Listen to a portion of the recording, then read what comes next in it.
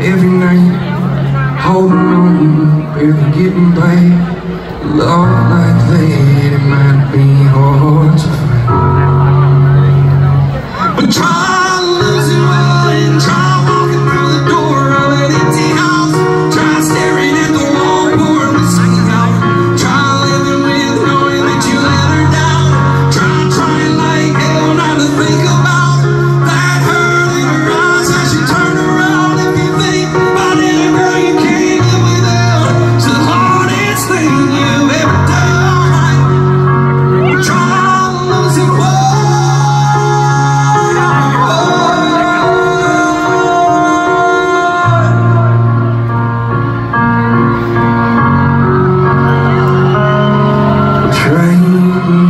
woman